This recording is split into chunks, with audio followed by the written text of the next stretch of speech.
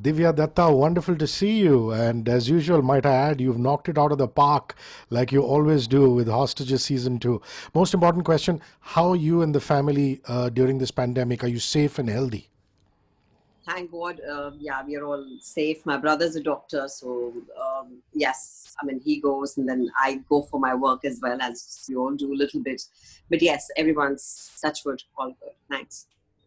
Aisha Khan is, is quite an interesting character, but uh, there really isn't a backstory if you look at it. You know, if you go in a chronological order, uh, you know, it just cold starts with her flirting with a guy in a bar, which is Ayaz's character, and you know, suddenly a phone call happens, and boom, she's into the into the thick of action. Do you worry about that when a, when a part comes to you? Do you work on that backstory with your directors, or are you just as good as the lines? You know, because you're such a fabulous actress, and you say, you know, forget the backstory, let's just go with it. Talk to me about that process. Interesting, Hrishi. No, uh, there has to be a backstory for, for for sure because you need to connect to the character as a person and not just as the lines she speaks. But I need to know who she is. And if I only found Aisha at work, I wouldn't really know who she is. Now I know she's a single woman trying to date, vulnerable somewhere, and um, somewhere childlike, and yet tough taskmaster. So that kind of adds a lot of layers to the whole role, and that that I think is the X factor. So you really need to know what's happening with her uh, prior to when you see her, and what's going to happen to her when she goes. So there has to be a certain graph that comes by. I, I was uh, quite stunned. Uh, why I mean, uh, uh, there are so many layers to this character. Is you know that she is uh, dealing with this whole patri- patriarchal situation. Uh, your character with Sachin Khurana's characters at loggerheads, and then you know the the other Jat officer who replaces Sachin Khurana for a while, he comes in. I don't know the name of the actor, and you know there's a conflict situation here but she's also reaching out to people for advice, which means she's actually quite an open kind of person who, despite uh, being at loggerheads, can actually, you know, just calm down and say, What is your opinion? And you must have found that very interesting. That's really interesting because uh, rather than, I would say, being open, she likes to take the other person's perspective as well so that her job becomes easier. She's pretty shrewd and smart in what she wants and sometimes if she feels she's lagging in something or she's lacking in something, she would want to know the other person's uh, way of thinking so she can approach her work in a better way. So I think that was very interesting. Very interesting indeed. I had no clue there was uh, uh, uh something called a hostage uh, negotiator at all. you know that to me itself was like wow you know does this happen? I mean you've seen it in hollywood and indian cinema where one person negotiates but you always think that they're part of the team you know whoever the commandos are. Did you were you aware of that before you signed hostages too were you aware that and if so then how did you go about finding out more about what they do I honestly wasn't too aware of uh, there being a, a hostage negotiator, uh, especially a female one. But I think it added a lot of, um, what do you say, depth to the entire thing because in the scenario of all the men right, being right there, there comes a petite woman who wants to just gauge what the other party is thinking, come to her own conclusions, get her way in spite of all the oppositions. I think was very interesting. And to just get those nuances of every tone, every silence, everything that's thrown at her she she just uh, picks it up and she observes it and she just knows what she uh, what what's coming next. That i found very intriguing. In fact i was watching it with my brother who's such a mass audience and he says iske samne mat karo ye pakad legi. So i was like so that was the impact of of um, you know a role on on somebody who's totally goes out in in a series like that so um, I was thoroughly enjoying the response because I saw with six, seven people at home. I got everyone to watch it together. So it felt like, yes, I mean, a group watching it. So you get every response. And to Aisha, it was very interesting and something they hadn't seen before. So, yes, it was fun. So tell, tell me how you signed this part. I mean, uh, did Sudhir have anything to do with it? I find him quite an interesting character with his long hair and his swag and, you know, walking into a room and taking over, things like that. which I think is cool in a lot of ways. So and he's talk to me about that. Otherwise, he's adorably cute, absolutely, and a very and one of the most knowledgeable yeah. men that I know, and a very intelligent one at that. And uh, I've been meaning to work with him forever. in fact, we came very close to working together in a film, but my dates didn't work out, so that just uh, went off.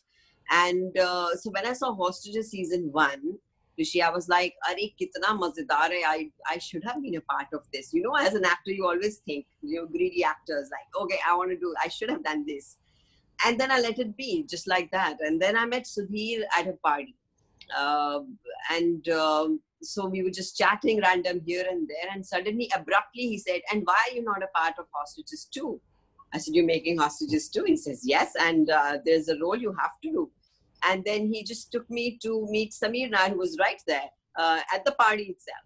And then uh, it just happened. So I think when you just send some good vibes to the universe, it all just conspires well and just makes it happen. So everyone was there the producer, the director, the actor, and it just happened. And I really wanted to work with both of them. And the role when I heard was yes. I mean, there was no way I wouldn't do it. It's just fabulous. Uh, it's a well known fact that character, strong, good character act, actors like yourself are often busier than the biggest heroes and heroines. I mean, that's the way it has always been. You know, you look at, uh, you know, Dilip Kumar Saab's time, uh, more recently, Shah Rukh's time, after that, Hrithik's time. Uh, it, the, the character artists, artists are always more busy. You know, you're moving from one set to another, this, that and obviously in this day and age with ott coming into play you must be getting lots and lots and lots of parts. Um, how do you decide what you're going to do? Is it always script based or is it sometimes banner based or is it hey you know i've got so many lines vis-a-vis that many lines? Or is it a combination of all those factors? Talk to me about that. Hrishi, first of all, I have a huge issue about being called a character actor. I think I'm an actor. I don't like to be. Fair enough. Correct. If you're yeah. not calling me a heroine, then don't call me a character actor. I mean, I'm not interested in being called a heroine, not at all. But I'm saying, why do you call me a character actor? I, I am a, I'm a complete actor who's uh, who's doing every kind of role possible, even your so-called leads. So what happens? You had actors like that earlier as well, but we we are, I think, too much enough of in a hurry to uh, give somebody an image um, I mean, we we had actors like Sanjeev Kumar, we had actors like Balraj Sahni who played heroes, who played fathers to the same heroines they romanced, and then they again played uh, heroes to the same girls. They were never stamped as being character actors. They, they were they were actors. I've never heard them being called, um, you know, so and so actors I, I think that's nice and especially i think with women the, the kind of um, i think i'm in a strange kind of a place where nobody knows how to kind of uh, इसको क्या बुलाएं ये ना तो hero को romance कर रही है हाँ? ना ये टिपिकल कैरेक्टर रोल कर रही है ये सब कर रही है इसको क्या बुलाएं तो it's it's it's fine but i think i would like to be called an actor first of all because i do think men uh, who do my kind of roles are called actors I've never heard them being called character actors, and they are doing every kind of role. I'm doing every kind of role. In fact, my forthcoming ones, including Hostages, is a lead role. So you can't call me a character actor there just because it's an OTT. I mean, Ram Singh Charlie, I am the lead. The next movies that I'm coming in are the so-called leads. Not that it kind of affects me. For me, what matters is uh, the the interesting part of the role. Mm. I mean, how much are you taking me back with you? in fact i've left the so-called so many lead roles and taken the other part because i thought that was more intriguing more interesting wow uh, I, I think I need to be satiated as an actor, Hrishi. That's what matters. And to answer so length, your question, length does not matter. What is what it never saying. does. You can be in the film throughout and do nothing to me. Uh, and and I couldn't just say, "अरे वो जो आया था वो चार scene में आया था मजा आ गया यार." And and I think I did. I started that way with with the commercial films, so to say, um, with Veer-Zaara and all. I wasn't there throughout the film, but people still remember me. So um, uh, I'm saying I think I've had an unconventional career and I have made some interesting choices. And uh, for me, the criteria of selecting always is um, an entirety of something. It's an instant yes or an instant no always. I never take like 10 days ke madam script padhengi fir batayengi aisa nahi karti main.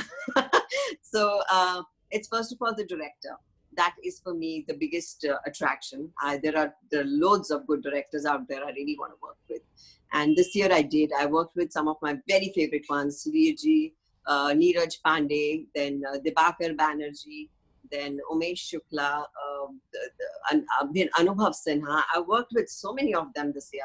Um, so uh, for, for me, first and foremost is that because I think they, those are the ones who present you. Those are the ones who give you a certain perception that the people will take back home. And secondly, of course, my role and who is with me, that comes secondary. Uh, but uh, yes, I mean, these two things for sure. Well, the, the thriller uh, genre, the thriller espionage kind of genre. I mean, you've you've you've seen two of them back to back now, with you in it, uh, Special Ops and this one.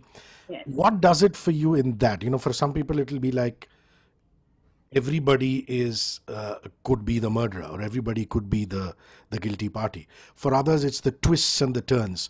When you're watching an espionage thriller, what is it that really sucks you in about that? First of all, I've bitten all my nails watching watching uh, one of these. I remember I was watching Neeraj's uh, baby, and we'd gone for a preview, and uh, I had my freshly manicured nails, and they were all gone. I said, first pay me the money for killing my nails." But uh, I think it's always what happens next because it's so ah. taut, it is so gripping, it is so interesting that um, uh, you're on the literally on the edge of the seat. Like I, uh, I being petite can just sit up on the seat like and squat my legs and just sit and be like this and watch. And the sheer excitement of where the characters are going and where they're taking the story and what happens next. And of course, those twists that come in. And with Special Ops, I was the twist. So, um, so it felt nice that hey, for a change, I knew what's going to happen next. But I had told Neeraj also specifically, I said, "Don't tell me the story. Let me enjoy it as an actor and as an audience." So he didn't tell me the story. Just my role. That's it. So you know, actors can never question why if their particular character is is uh, a victim of a vice, they've got to go ahead with it. Ayesha Khan is a chain smoker. She's constantly in in corners in the in the hostage area or outside, puffing away. So how do you manage that? I mean, do you do you do you fake smoke? Do you take a couple of puffs, put it put it aside? Couldn't be easy because you know every every second scene when you're not speaking in front of the the uh, communication system, you're out having a smoke. most of the time, Hrishi. no, I'm speaking. Uh, uh so I'm just, I'm just I'm getting into the mecha- mechanics of it, the logistics of it. How do you manage? I have actually smoked in a lot of films, and thankfully, I haven't been uh, really gotten used to it. Uh, but um, sometimes you know for a shot you have to like really do it a, a few times. And um, i'm somebody whose capacity is very low uh, with with anything. So i remember in Dilli Chhe when i was uh, using the biggies i didn't know i'm very naive i was i didn't know that they're more potent than the cigarettes. So i was like hey. And Fatak, I went down. I was literally zoomed out, and they had to just get me, and they got uh, the other bidis made without any stuff in it and uh, so now of course i mean with time you've learned and um, I, earlier i didn't know how to even inhale so it looked very fake but things like these look fake on the um, if, if you're faking it you're caught yeah. So, so yes, I mean, you do it. That's fine. Part of my being an actor. That's that's cool. The last time I interviewed you, there was a, my favorite part of the interview was you talking about this beautiful book that uh, that you'd written about your mother. You know. Are you doing any more writing, or do you do you have do you don't not have any time to do it? Tell me. No, Hrishi, it's taking a lot of my time writing my next. In fact, uh, so that is um, yes being written right now during the lockdown and now whenever I get time, I'm finishing one chapter each every day. Uh, yes, uh, my next is on uh, for next year, and uh, the Hindi version of the previous one also is ready. Uh, so that also comes by. So yes, is it a spoiler if you tell us what the next one is about? Yeah. It's going to be um, a lot of my film journey. So intriguing parts. I mean, I, I just see in interviews everywhere, people want to know um, the journey and everything. And so it's, it's, I mean, I can't tell you what it is about, sure. but it is about my journey in the movies. And that requires a different kind of discipline, doesn't it? I mean, you've got to sit, put pen to paper, or put finger to keyboard for fixed number of hours every day. That's what writer friends tell me. You know, it's not like a man kiya to uh, likh liya types. So are you using that philosophy? Because you're not technically a full-time writer. You can use that philosophy. Or are you doing that discipline of, of, of writing of so many characters or words every day? I was doing it, but I think the lockdown did a strange thing to all of us somewhere, Hrishi. Somewhere, you know, you're not just focused to one thing. There are 10 things going on in your head. There's a certain kind of anxiety with what's happening in the world. Um, a little, what do you say, unsurety about uh, uh, what's tomorrow holding and all that stuff, which happened in the thick of the lockdown. But uh, so, yes, I did find a few days where I thought I can't write and I don't want to write. But then I, I um, got my this thing and um,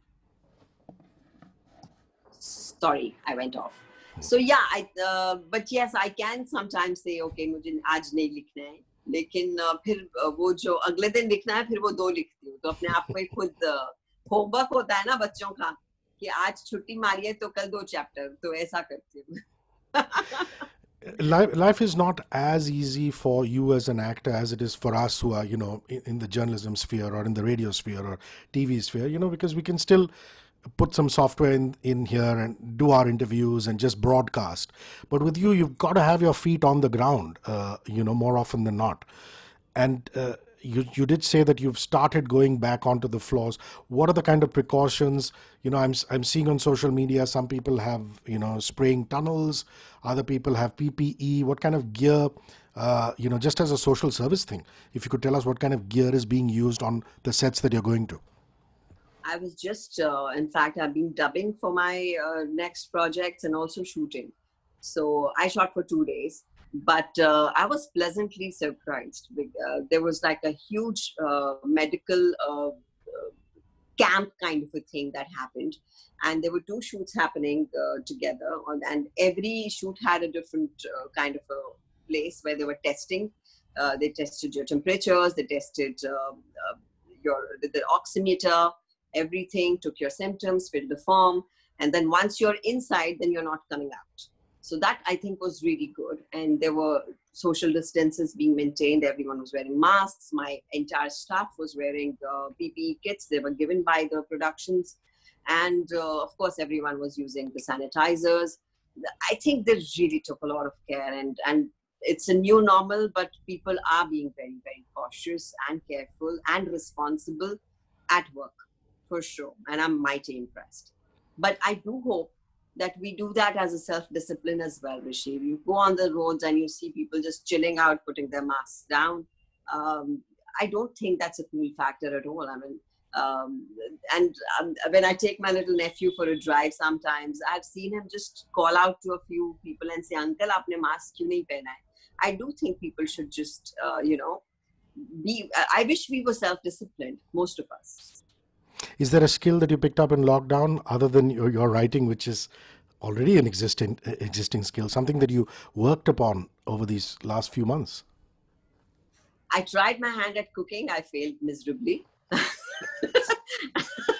uh, my family was very polite to me for a few few days, and then they said, "I think we, we think you should just sit down and let us do the needful." what did you try to make? What did you try to make and go horribly wrong? See, mom's recipes went fine. The Punjabi recipes I worked fine. But the others that I tried, because I used to hear from all the friends, aaj humne ye pasta banaya, aaj humne ye kya. I thought I'll also try something. So the pizzas burnt and the pastas were a disaster. So I thought, okay, Divya, let it just go. It's it's not your cup of tea at all. So I, I mean, with a heavy heart, I decided I am not a cook. So, so uh, that happened. then I uh, didn't find really any skills as such. I play a lot of badminton and I really enjoy that. I um, I started cycling a lot. That I do uh, a lot, and I sketch. And uh, so yeah, मतलब ऐसा time pass सब करती हूँ. But yeah, but cycling must have been nice because of the roads being slightly empty during the lockdown. I go in my building. Oh, it, it's round and round and round till you fall. Is there another character in Hostages season two that you went wow?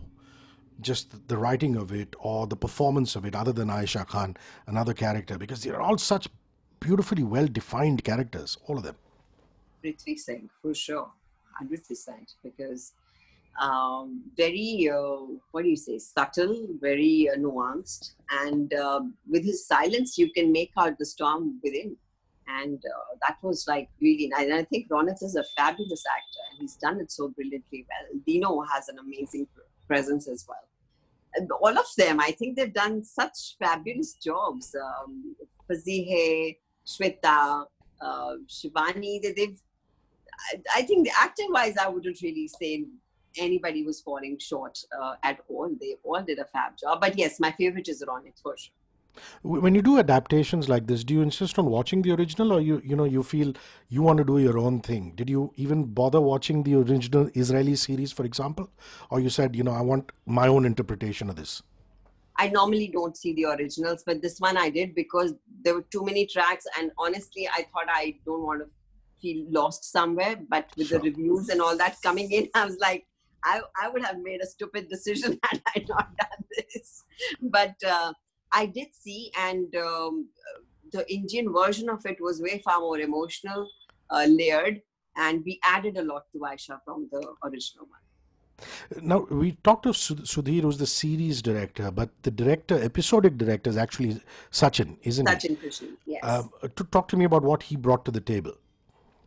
A lot of it. He is. Uh, he's also the DOP of the show and uh, so that made it quicker for him because he uh, knew what he wanted to shoot and there was no discussion on the set ki aise angle laga do aisa kar do he was quick. Um, he was very like i had these apprehensions about her being single layered and he said within the because it's a series and you you have to follow everything there. So uh, in the given pretext he said uh, uh, we we are going to add layers for you there only and he beautifully did that for me and uh, secondly, I think he has a very positive approach. Uh, any issues, any problems, he would say, "Don't worry, ho jayega." And he just didn't mean ho jayega in, a, in how we say "Haji ho jayega." It never happens. He actually used to make it happen, and I was mightily impressed. He used to start sharp. If he said 7 a.m., it was 7 a.m. And if the pack up time was six, he would he would pack you at five. He was that clear. I'm not saying that अरे फटफट छोड़ते थे इसलिए अच्छे थे he was very clear with what he wanted he knew the tonality of, of a scene which is i think a blessing for an actor because half the time you you go about looking for uh, the right ton- tonality uh, to pick up uh, so everyone is on the same page so that he brought to to sing and i think he's he really added a lot to the series hmm. and and aisha another wonderful trait about her is she doesn't instinctively go in for a confrontation. She holds back, you know, as opposed to a lot of raging male hormones, you know, testosterone flying around. She's like, you know, terja, you know, let's see, and things like that. Um, are you like that in, in, in your life? Not at all. Or you instinctively? Let's, let's I am overtly reactive, Hrishi. I do it and then say, oh shit, man, I need a negotiator for myself. that is such a beautiful thing to say. You know, negotiator was that. That is so cool. Oh, wonderful. So that just proves what a wonderful actress you are. That means you are nothing like her. And here you are playing this, you know, stoic, kind of cool woman. Just fabulous.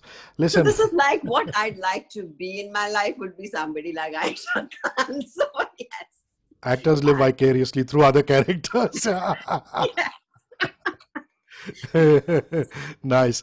Listen, conversations with you are so lovely. You know, thank you for the joy. Thank you for the joy you give us as an actor. You know, you just you go out there and you you can make out when you see uh, a Divya Dutta performance that she's enjoying herself. You know, you just you put everything into it and then just makes it so wonderful for us as an audience. So take care of yourself and uh, well, may your tribe increase. Thank you, Hrishikay. I love you. love you too. Cheers. Bye bye. Have a good day. Stay safe. Bye.